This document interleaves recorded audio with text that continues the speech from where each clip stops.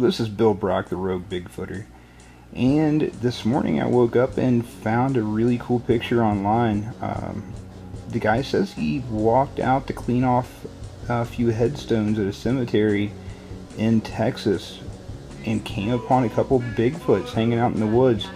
Now, I'm, I'm going to post um, a link to the whole story, but uh, I went ahead and got the photo that he released and I've been doing some enhancements to it. And right here you can see the photo and zoom in on it just a little bit. They've already tried to mark out in the newspaper where they think they've seen possible Bigfoot silhouettes in this photo.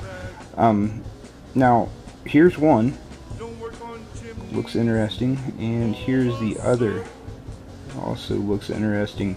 Now I've enhanced this quite a bit. I've tried to bring out all the shadows possible and this is pretty much what I came up with. It does look slightly different than the surrounding forest. Now is this a Bigfoot? Well, of course we don't know.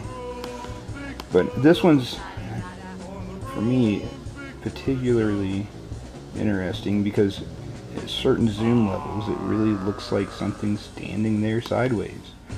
Um, definitely an interesting photo.